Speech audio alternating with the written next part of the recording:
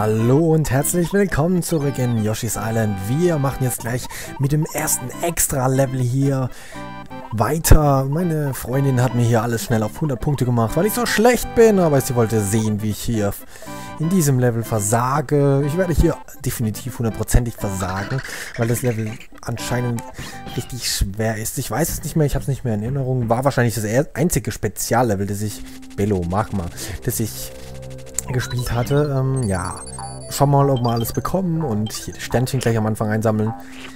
Bis jetzt sieht es ja friedlich aus. Ein paar Fledermäuschen und tausende Lavafälle im Hintergrund. Wir sind ja nur in einem Vulkan oder so irgendwas.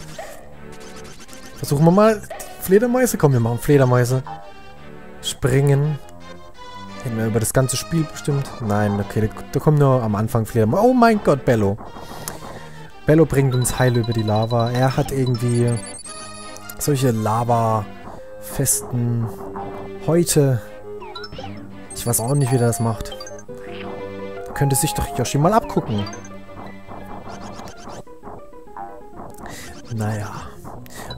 Aber das kriegen wir hin. Das sieht doch leicht aus. Das, der, dieser Autoscrolling-Bildschirm macht uns hier gar keine Probleme. Wieso sollten wir hier auch Probleme kriegen? Komm, hol die Blume noch. Hey, Doggy, Doggy, Doggy, Doggy. Nein, nein. Oh Gott. Da, da hat mich gerade irgendwas gejuckt. Ich musste mich kratzen. Wir probieren es noch mal. Spezial 1. Ja, wieder die übliche Prozedur. Wir holen uns ein paar... Verdammt. Naja, egal. Die Sterne holen wir uns woanders da. Das ist kein Problem. Aber zunächst nehmen wir alle Eier auf. Dann holen wir die Blume mit einem Ei, oder? Ich weiß nicht. Wollen wir ein Ei verschwenden an der Stelle? Hm. Aber erstmal dies hier. Hoffentlich sind jetzt auch genug Sterne in dem Level verteilt. Nicht, dass ich die jetzt verbraten habe am Anfang. Die Blume können wir uns auch so holen. Hm. Oh je, nicht so weit voraus. Der Bildschirm hält uns auf und lässt uns dann runterfliegen in die Lava. Oh oh, wir können auch einfach draufbleiben, oder? Oh, ja, so geht's auch. Hm.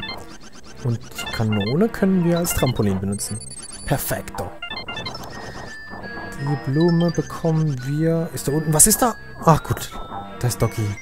Nein, ich will keinen... Oh Gott, jetzt kommen ja noch solche Viecher. Ah, jetzt fehlen nur noch Fledermäuse. Das wäre das Ultimatum. Aber wir schaffen es anscheinend. Ah, Fledermäuse. Da, wenn man sie wenn man vom Teufel spricht. Wie lang geht dieses Level? Ich weiß nicht, Speziallevel sind die so lang wie normale Level? Oder war das nicht doch irgendwie nur so ein Bonus, so ein kleiner? Ich will nicht zerquetscht werden. Zerstöre die Stachelgesichter, komm schon. Davon haben wir ja eins auf dem nächsten Schloss gesehen, in der sechsten Welt. Da werdet ihr ja Augen machen, wenn ihr es nicht kennt. Nein, nach was. Ihr habt schon viele andere Spiele gesehen. Na, wie soll ich da vorbeikommen? Hallo? Ich will die Punkte einsammeln und will vorbeikommen. Ja, das schaffe ich nicht, oder? Duck dich, duck dich. Hm? Äh, irgendwie bin ich jetzt durch die Stachelkugel durch, aber das ist egal. Ignorieren wir diese Illusion. Oh, ich habe alle. Und bin gestorben, geil. Wahrscheinlich noch kurz vorm Schluss oder so. Ich will es gar nicht wissen. Ich lösche diesen Moment. Bello Magma. Zum dritten, nein, zum ersten Mal, meinte ich. Wir haben das Level noch nicht gespielt. Es ist völlig neu. Fledermäuse fliegen auf uns zu, wollen uns warnen, dass da hinten... Keine Ahnung. Weiß nicht, Lava ist, aber die ist doch überall. Ich weiß es nicht. Vielleicht ist hier auch so ein Lavamonster, so ein Magma-Monster. Magma. Magma? Wie hieß dieses... Das Pokémon hieß Magma, nicht? Oder? Hm, ja, es war Magma. Oh, schon so lange her. Nehme ich was mit Pokémon zu tun hatte. Ich konnte alle 150 auswendig, wenn ich es noch... Oder? Konnte ich alle 150? Ich glaube, ab 100 hat es aufgehört. Konnte ich nicht mehr alle. Aber hier falle ich nicht nochmal runter. Ah, schneller hoch.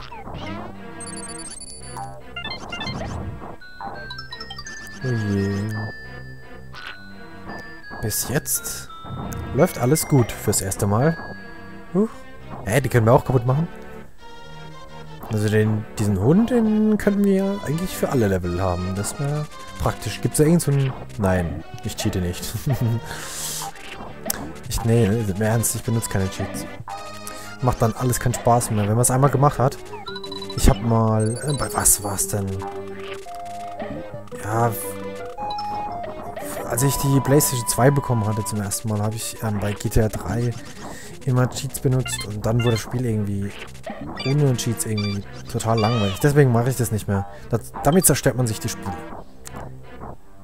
Wenn man einfach nur noch einen Panzer-Cheat benutzt und alles in die Luft haut und für Chaos sorgt und ja.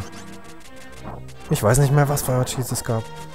Übers Wasser fahren, da haben sich die Reifen so komisch gedreht. Aber ich will nicht darüber reden, ist doch wurscht egal, was da, was da war. Hm. Wir sind doch gerade eben... Da sind wir vorhin gestorben. Genau da. Nee, ich es nicht wissen. Und der Hund stürzt ab und stirbt. Ja, das jetzt tatsächlich... Ah, nee. Er kann ja in der Lava überleben. Das ist ja kein Problem für ihn. Aber wir sind echt kurz vom Ziel gestorben. Wie schlecht ist das? Egal, hau noch ein Bonuslevel rein. Sag jetzt bloß, ich habe in einem Speziallevel 100 Punkte. Also damit kann ich angehen. 100 Punkte. Ach. Das freut das Raffi-Herz.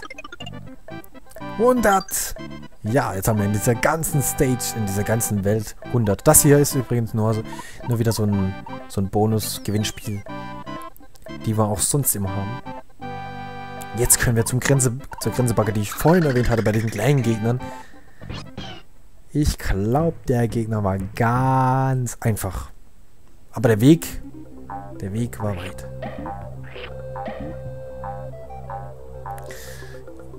Ja, jetzt kommen wir erstmal diesen ganzen Shy Geist. Shy Geist.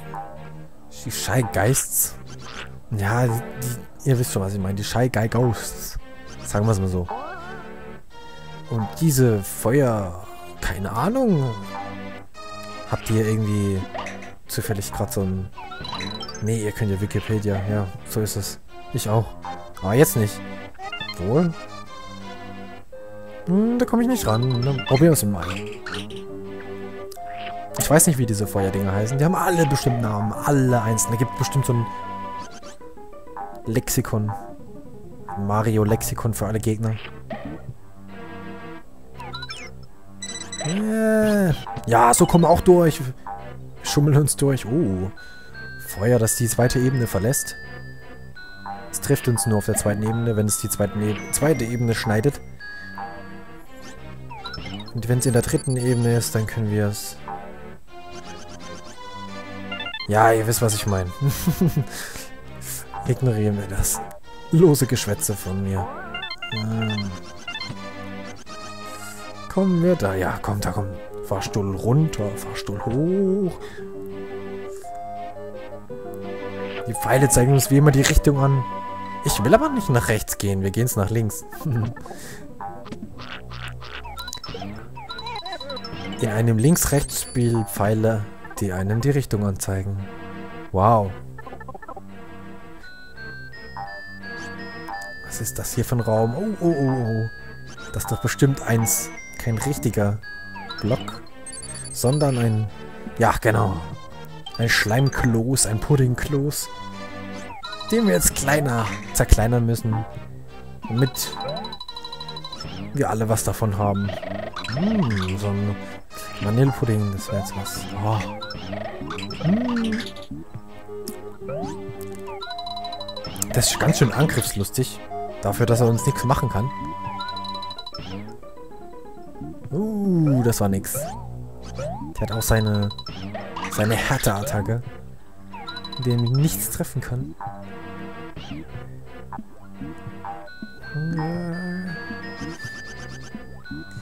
Jetzt rennt er davon, oder? Jetzt, nein, er rennt nicht davon. Ich dachte immer, wenn ich, wenn er eine bestimmte Größe hat, rennt er die ganze Zeit davon. So war das doch irgendwie. Ah, jetzt. Jetzt. Jetzt ist er kurz vorm Sterben. Hm, noch ein Schuss. Hm, nein, einer noch. Immer noch nicht.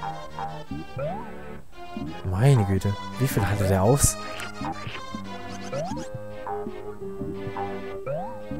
Ja, noch eins, komm. Noch zwei. Okay, dann nur eins.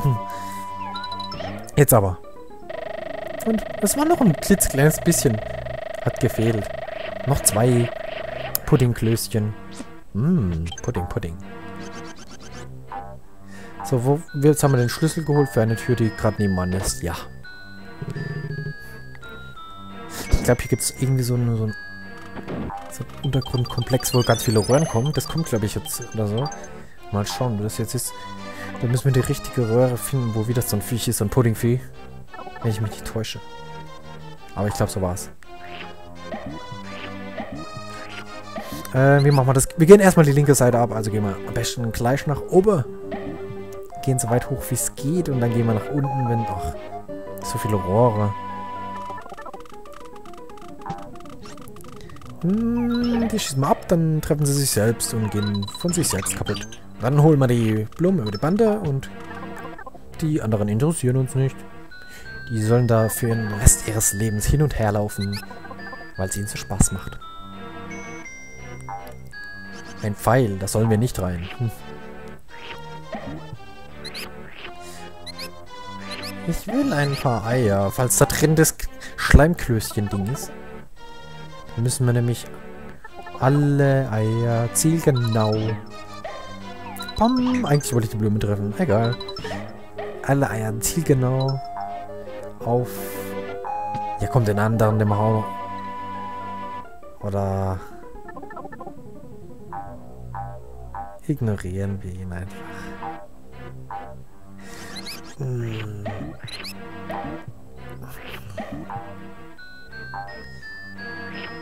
Ich bin gerade kurz ein bisschen sprachlos. Jetzt wollte ich hier eigentlich nach rechts, okay. Aber geht auch nicht. Dann gehen wir eben wieder nach unten und arbeiten die linke Seite weiter ab. Indem wir, weil wir uns ja so gut gemerkt haben, von welchem Stock wir, wir jetzt gekommen sind, ich weiß es nicht mehr. Es war... Nicht hier. Oder? Wir gucken mal rein. Ich kann mich nicht entscheiden. Doch, hier sind wir hergekommen. Ist doch ganz klar. Da waren die wieder. Die sind unsterblich. Kann einfach nicht sterben. Hm, na gut, dann eben die rechte. Moment mal. Da geht's noch weiter runter.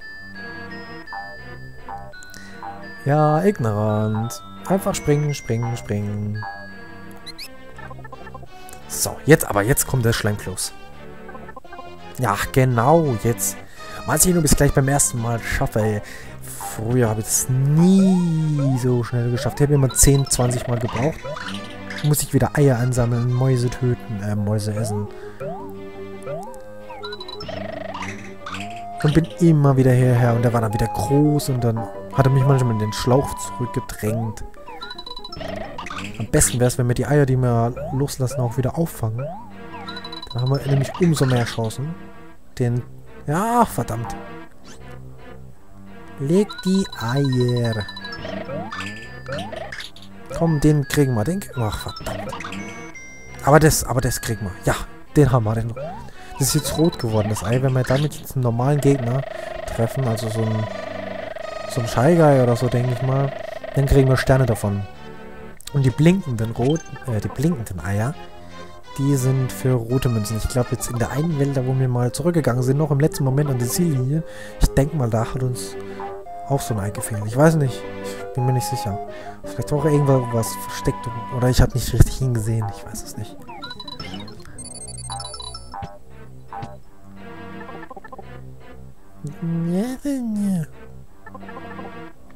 Jetzt sind wir aber fertig mit der linken Seite. Jetzt geht's nicht weiter. Ja, da geht's auch nicht weiter. Da ist Bildschirmblockade. Jetzt fangen wir mit der rechten Seite an. Ist ja auch, glaube ich, die Seite, Moment, die, wo's, da wo es weitergeht. Also, irgendwo muss hier der Stöpsel sein, der verschlossen ist. Ja, Sackgasse. Moment. War da nicht... Nee, kann nichts gewesen sein. Der hätte auch ein Fra Fragezeichen aufploppen müssen. Wenn da was gewesen wäre. Oh Gott, nein. Wir müssen da durchschießen. Reichen uns Reiher. Ah, komm. Vielleicht noch... Ist da... Hm, könnte doch sein, dass da vielleicht... Hm, schauen wir noch mal rein. Ich wollte noch mal ein Ei mitnehmen. Oh, das ist wieder ganz toll. Das wächst ja schnell, das Unkraut. Yeah. Egal, ignorieren wir es einfach und gehen weiter. Und zwar hier hoch. Und da sehen wir auch schon den Stöpsel. Da können wir drauf... Oh Gott, ich will nicht zerquetscht werden. Der Stöpsel war irgendwie verschlossen. Darf mir gerne mal jemand den, den Mechanismus erklären, der den Stöpsel verschließt? Das will ich gern wissen. Schreibt es mir in die Kommentare. So, ähm... Jetzt sind wir hier beim Speicherpunkt angelangt und ich glaube, da kommt auch schon der Boss, oder? Kommt der Boss? Ich weiß es nicht. Nein, der kommt bestimmt nicht der Boss. Nein, es ist nicht der Boss. Es ist nur der Weg bis dahin. Der Weg voller dickflüssiger Lava, die Wellen schlägt und kleine Feuermonster ausspeit. Die essen wir aber, oder? Kommt die erstmal. Oh, das kommt nicht rechtzeitig.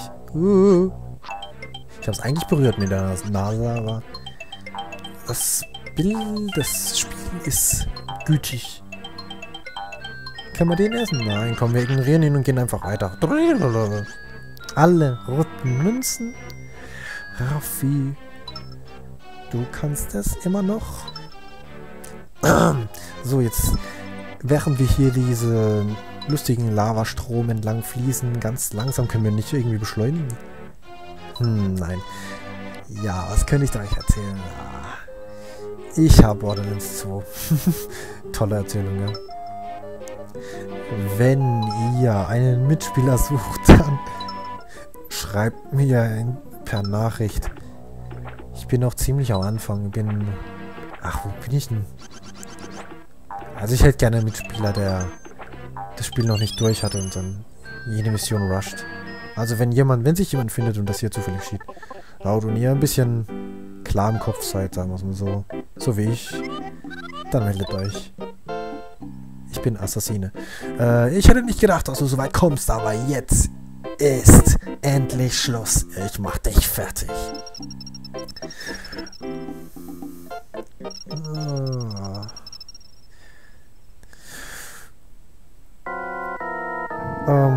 Gott, die Grinsebacke wird größer. Oh mein Gott. Ja, jetzt müssen wir den Boden unter den Füßen wegschießen. Spring nicht so doof rum, du blödes Vieh. Ich mach dir den Boden unter den Füßen weg. Oh mein Gott, warum hat es geruckelt? Verdammt nochmal. Ich will nicht, dass es ruckelt. Warum wurde ich getroffen? Ich will, dass du in der Lava da unten brennst. Der ertrinkt da irgendwie, glaube ich, wenn ich den treffe oder so. Ich weiß es nicht mehr ganz genau. Oh mein Gott, was war das? Das war ein Fragezeichen, Wölkchen.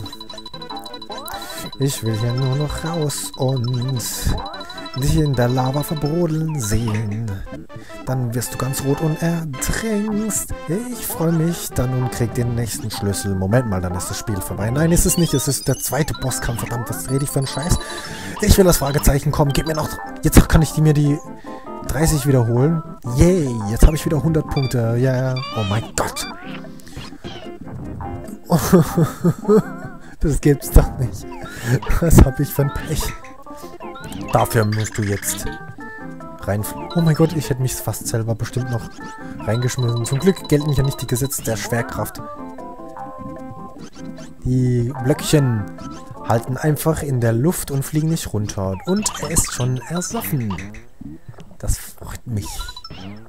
Nein, er trinkt immer noch. Nee, er trinkt nicht, er verbrennt, sagen wir es mal so. Ist das angenehmer? Ertrinken? Verbrennen? Hm. Naja. zwar 26. Was ist das? Das kann doch nicht sein. Naja, jetzt haben wir wieder ein